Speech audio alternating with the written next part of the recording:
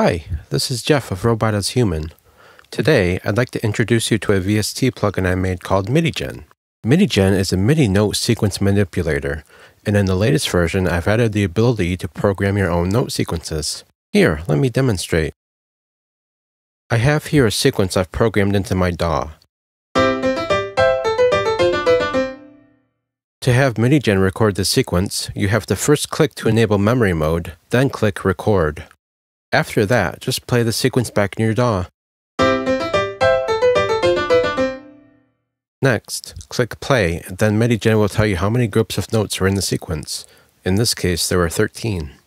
Now, when you strike a key, your sequence will be played back as a loop.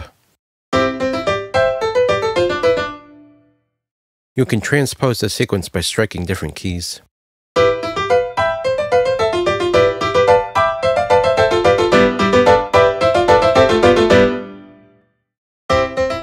You can manipulate sequence playback through MIDIGen's various controls.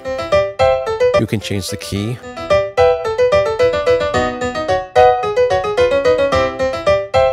and the scale.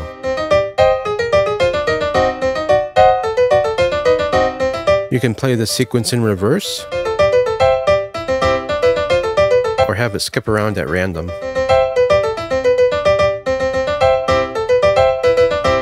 You can slow the sequence down.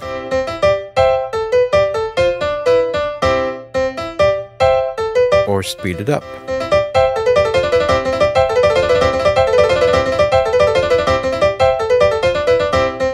You can also have MIDIGen change the notes of the sequence while retaining the rhythm.